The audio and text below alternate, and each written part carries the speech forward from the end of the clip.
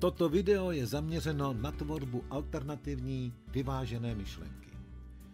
Jelikož budeme navazovat na předchozí videa, vezměte si nyní k ruce váš záznam myšlenek, ve kterém již máte vyplněno prvních pět sloupců. Nyní se podívejte na sloupce argumentů pro a proti. Jak to na vás působí? Jsou stejně obsáhlé? Je více argumentů pro nebo proti? A jaká je váha jednotlivých argumentů?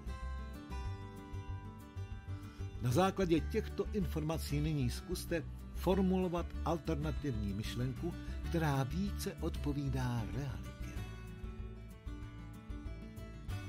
Napište si větu, která v sobě zahrnuje všechny důkazy, svědčící pro původní žhavou myšlenku a větu zahrnující naopak všechny důkazy svědčící proti. Pokud nyní tyto dvě věty spojíte do jedné, vznikne vám alternativní, vyváženější verze původní žhavé myšlenky.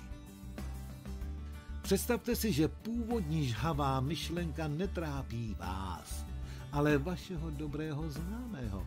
S přihlédnutím k důkazům pro a proti si napište, jak by mohl danou situaci vidět jinak.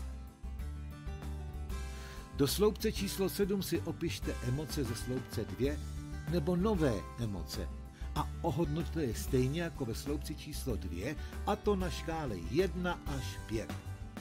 Na emocích poznáte, jaký na vás má alternativní myšlenka dopad.